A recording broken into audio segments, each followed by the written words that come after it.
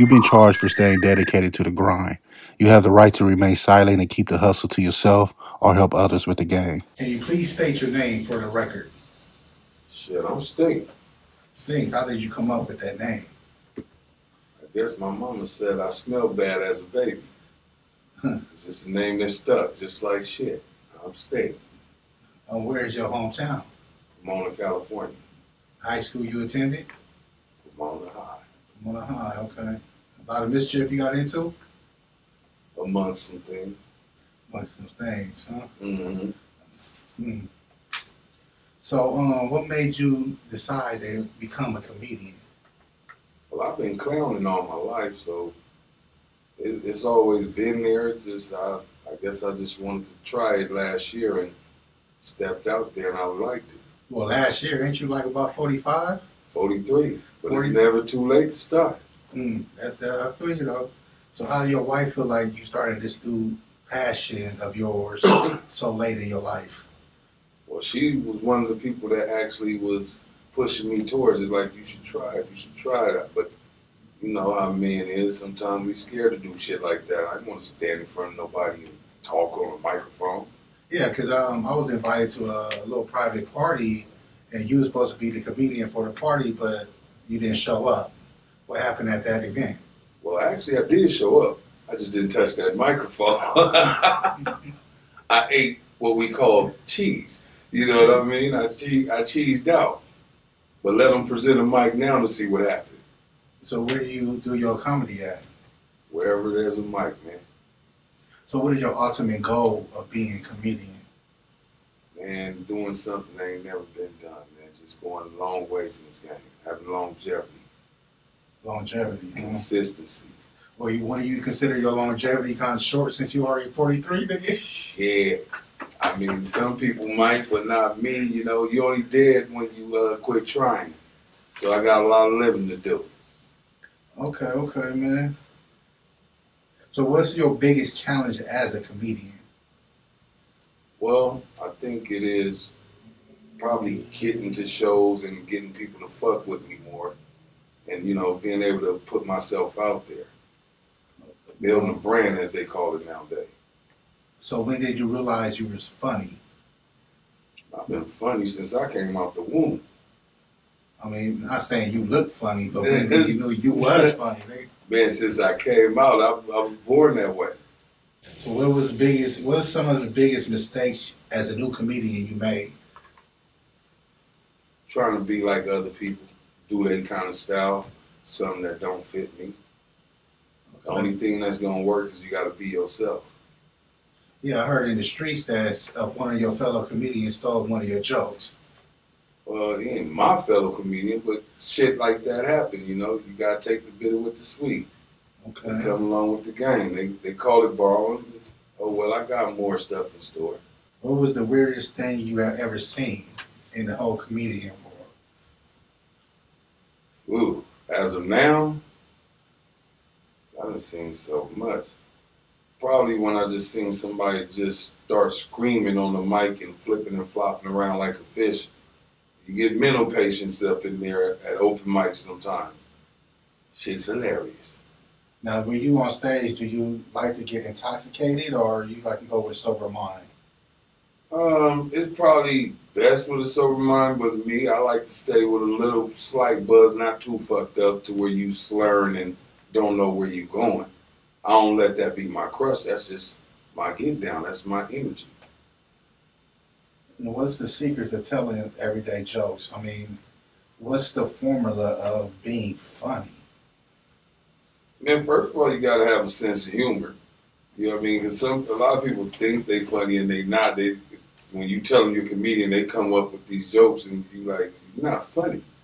You gotta have a sense of humor. People already, whenever you talk, when you're at the barbecues, domino games, wherever the fuck you at, and everybody laughing at you, usually that's the funny guy that you're looking at. So you think you can go to school to be funny or it's got to be a natural gift? I mean, some people do go to school and try to do it, but yeah, I do believe it should be natural. So in the comedian world right now, man, where could they find you at? And you can find me on Instagram, Facebook. I'm Stynk on everything. So you really running with this I'm Stynk. Why not? This is what my family been calling me for years. Why change up the flow? Okay. So you still smell like shit though? Man, I am the shit. That's the only way that one go. you know you're kind of sleepy over there, man.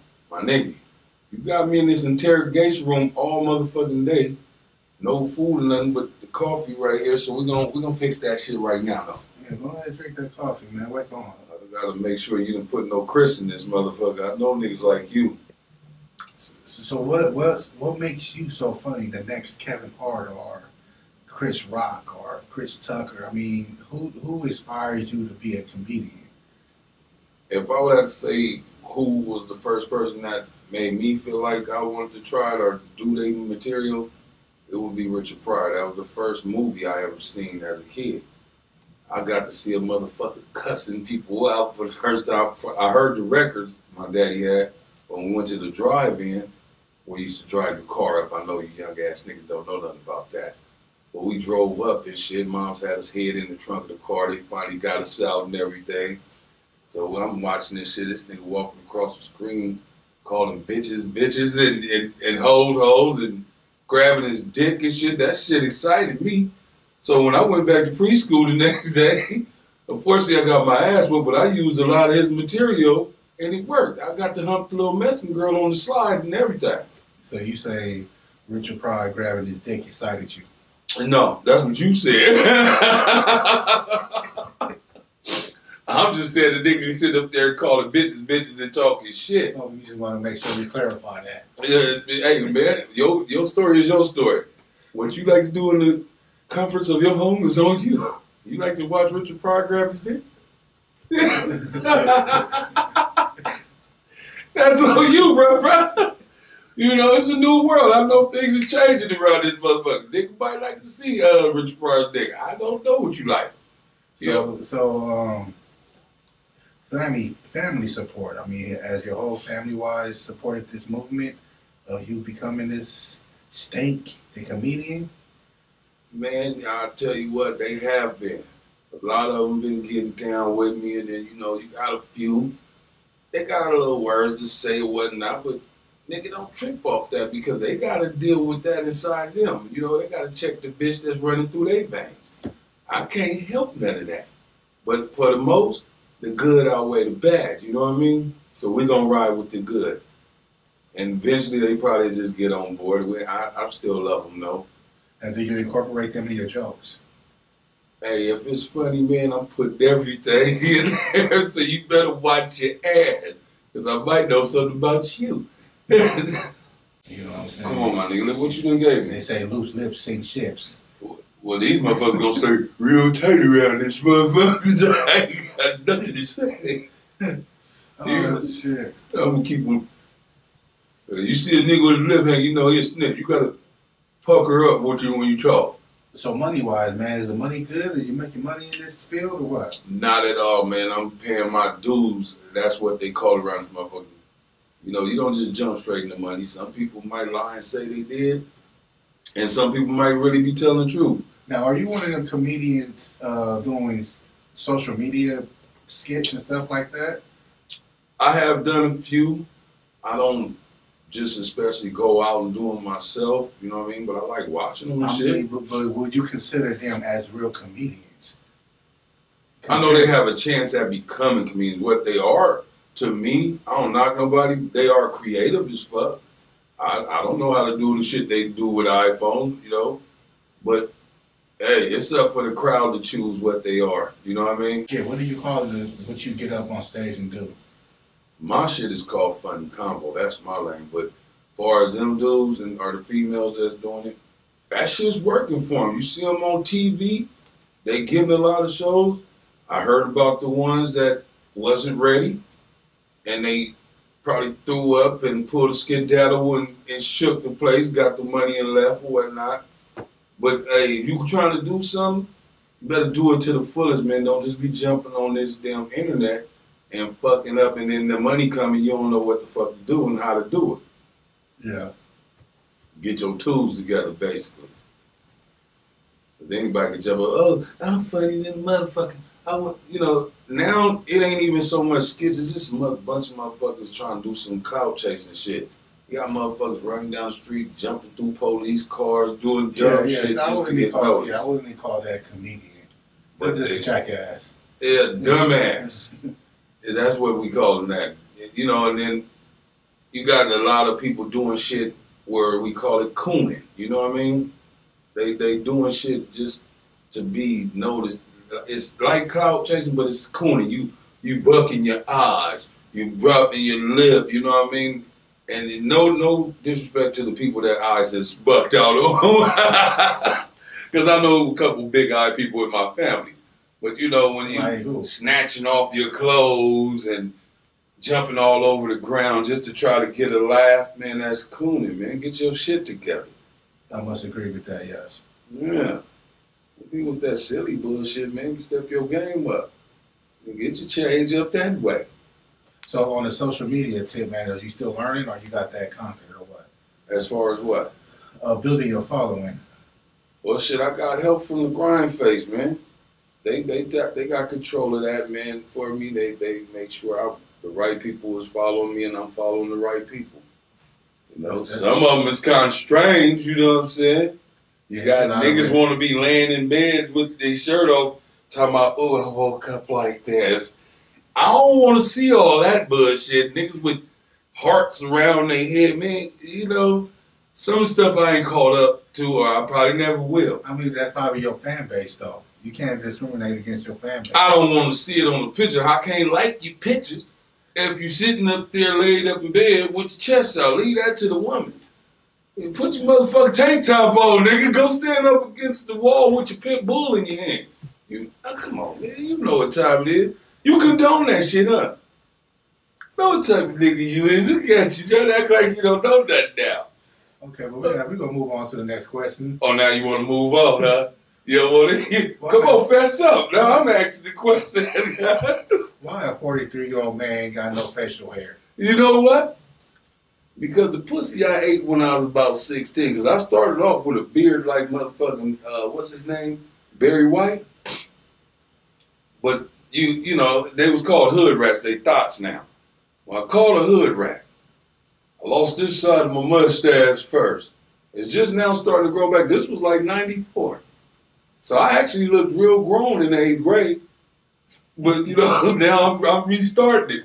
I had some tainted pussy. Fuck it. That's what it was. So, Mr. State, um, down in my files right here, Oh, you got files? yeah, I got a little paperwork on you. You got paperwork on me? Yeah, back in your teenage years, they used to call you um, Don King. Well, that was a little bit before teenage years. Somebody gave you the wrong file. Mm, You probably got See, numbers mixed up here. They called me Don King, right?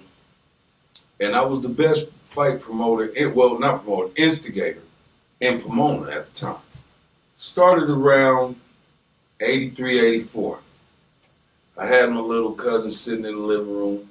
You know, mom and them done took the county money, then went off to Vegas and left all the kids at home. The older cousin watched the little one. Just so happened I was him. I would get bored. It, it ain't nothing else to do. They don't want us to go outside. I can't leave them, so I'm gonna make a ring with the couches that my mama got. I wrap up some nice clean socks, not the dirty ones, you know. Put some clean socks on their hand. We didn't do weight class though. Big, it didn't matter if you was big or tall. You know, we just did it by age. You know, you could be fat and you know bow-legged with one good eye, but you was gonna get your ass in there and fight. So, in my mind, I felt I was toughening up everybody.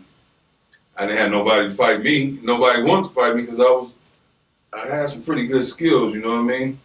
At, at this uh, fighting shit. So I would take my little cousins and some kind of way I would manipulate them and make them mad as fuck at each other. She said this or he said that, and it was on from there. They, we get busy. But they love me for it because I made them tough motherfuckers. Ain't no busters in my motherfucking family. Well, hold on, wait a minute. I ain't gonna speak on him though. But let's you go. We go past that. We gonna leave that out there. Okay, so you didn't find any complaints. I mean, there are formal complaints on you. So Oh. everybody didn't really like that shit, man. Oh, that's probably because they got their ass whooped. You know, Oh, I guess. If you still fucking complaining from the eighties, something wrong with you. You need to. You should have been moved the fuck on with that issue. You grow new teeth from then. What the uh, fuck? so you enjoy being Don King towards the little kids, right? Hey man, we had fun. So I know it- I did. So was it afraid you? Was you afraid to be in the Mike Tyson situation? Oh hell no! I actually used to like fighting a lot. Well, who did you fight in the streets of Pomona, man? Beat up a lot of people. you might know some of them. No, we don't want to name drop. We ain't gonna name them out, but they know who the fuck they is. They got these rights and lefts. So you will consider yourself a troublemaker in the uh, city of Pomona? Back then. Back then, we was talking about the '60s. No, we talking about the 80s, motherfucker. I probably would have been a bad motherfucker in the 60s, too. No, I probably would have been pimping if I was in the 60s. So in the '80s, um, heard gangbanging was pretty high in the '80s. Yeah. Well, you look like one of them dark skinned Crip dudes. No, I, I, I tried to be a crip, but they had too many motherfucking rules that you gotta remember.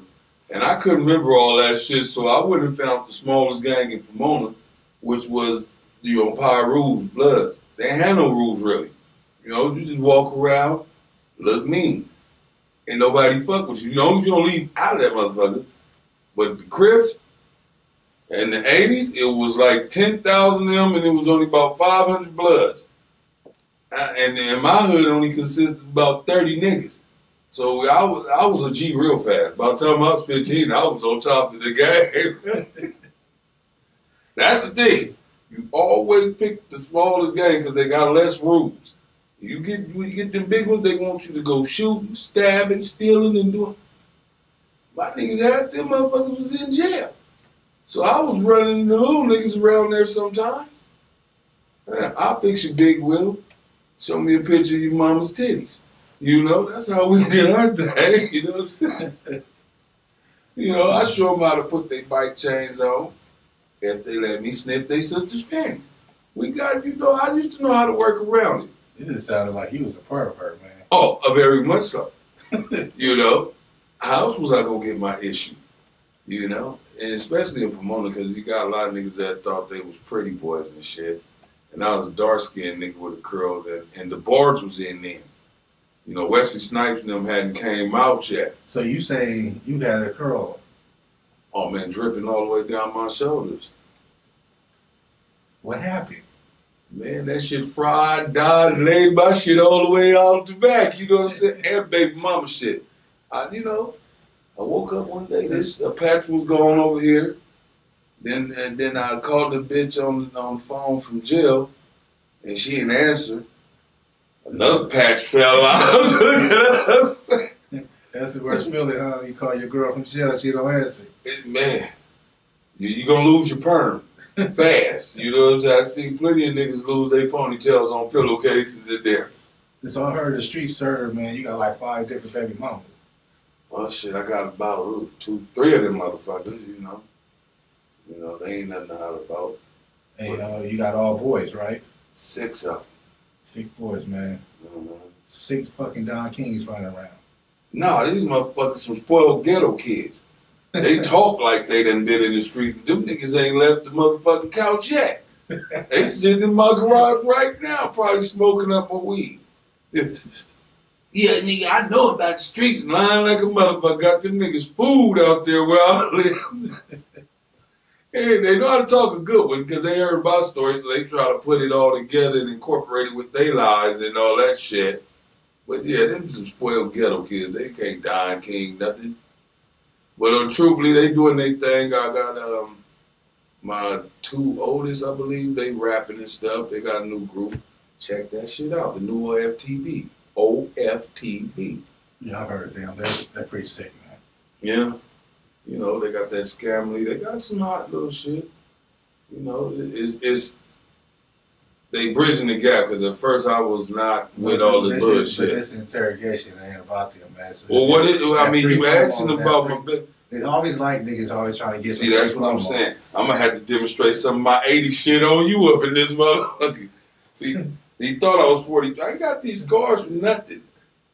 I told you, you better ask around Pomona from the west to what was on the south. Wasn't too many niggas over there, really. But the north, the west, and probably south too. I, you better ask them niggas who was get socking their ass up in the early eighties. um, back to the the whole before comedian. Since you started to be a comedian at 43, I mean, you had a whole life before you. So what was you doing before this comedian shit? Shit, niggas selling weed like a motherfucker, hustling, making money, feeding my kids, paying bills. And what the fuck you keep saying 43 like I'm dead, motherfucker? Nigga, you about two years behind me. Come on. Motherfucker act like you 80 years old when you uh 40 and shit. I'm just, I'm just trying to. That's called a second breath, nigga. second breath. Okay. Yeah. Most call it a midlife crisis. That's at 50. Said he couldn't afford a car Corvette. He said, "Fuck it, be a comedian." Hey, that's the same reason you going to a barber lining up a hair that's balding. I don't know how to figure that shit out all this time. You got them spaces up there. You might as well join me. You look about 43 too. But see, this is the thing. Don't ever fucking give up. I don't care if you're 67. If you still on this motherfucker breathing, it's for a purpose. Don't get to sitting on the couch talking about, I ain't doing that shit no more. That's where people get fucked up, letting people put a, a cap on what you should do by And, your and, letting, age. and letting people feel like you too old to start something new. Yeah, I don't you put a cap trying. on it. Yeah, you, I appreciate that because I ain't. That was one of my biggest things too. It's like, man, I might be too old to be doing this.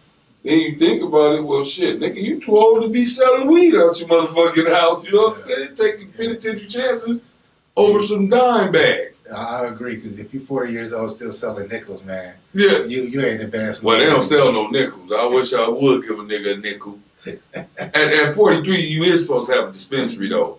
I mean, I ain't gonna say stop what you doing, but nigga, kind of invest in the building and do your thing. You know, I see a couple of them niggas that's my age hanging out at the liquor store selling their weed and their drugs, and they got their gray braids in there. Man, y'all cut that shit out too. That shit is nonsense. It's just preposterous, man. Just stop the bullshit. You know? spell preposterous. Hey, look. Preposterous, goddamn it. hey, don't hate because I know big words and shit. Man, we don't expose all that what you was doing. Hey, well, look But, here. um, This is how we gonna handle this situation you want from to here explain that. Do I want? No, I ain't answering no more of your goddamn questions without my lawyer, buddy boy, with your foul having ass. Get me the fuck out of here. Hey, Turkey! GrindFace.